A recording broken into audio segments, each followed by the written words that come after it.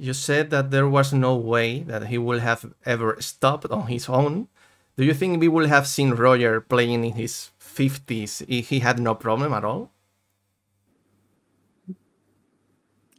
I don't know. Maybe. I mean, uh, the thing is that he he loves tennis so much and he loves playing. Um, he loves uh, tennis life. He loves everything about it. Right. He loves press conferences. He loves uh, his sponsors. He lo- he he he purely and and honestly loves everything what the, what he what what he was and what he was doing. That there was no, you know, people sometimes would come to me and said, you know, if he would have won that Wimbledon 19, would have would have he retired there on the spot, you know? And and and I was thinking like, no, like why why would he? So it's not like he was looking for the reason to stop. He was he wanted to play, mm-hmm.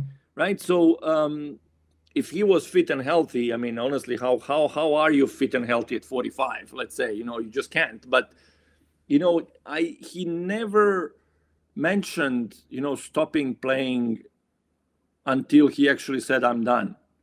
Right? He wanted to play, mm-hmm. and and and and this is maybe a concept that people have struggled to to understand. Even some pro players, most of the pro players, because everybody's kind of playing for something. If I do this, then I'll stop, or if I achieve this, I'll stop. If, if this happens, I stop. Everybody's thinking about stopping before they even stop. Right? Mm-hmm. Roger didn't do that.